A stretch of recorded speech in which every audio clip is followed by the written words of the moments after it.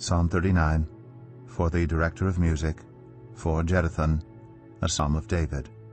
I said, I will watch my ways, and keep my tongue from sin.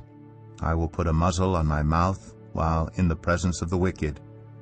So I remained utterly silent, not even saying anything good.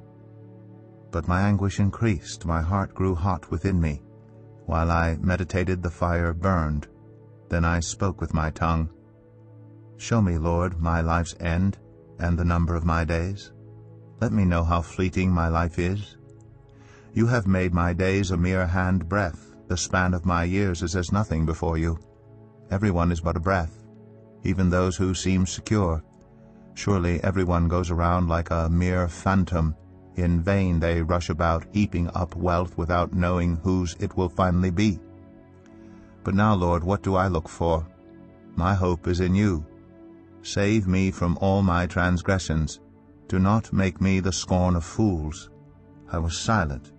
I would not open my mouth. For you are the one who has done this. Remove your scourge from me. I am overcome by the blow of your hand. When you rebuke and discipline anyone for their sin, you consume their wealth like a moth. Surely everyone is but a breath. Hear my prayer, Lord. Listen to my cry for help. Do not be deaf to my weeping.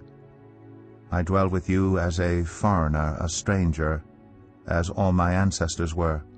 Look away from me, that I may enjoy life again before I depart and am no more.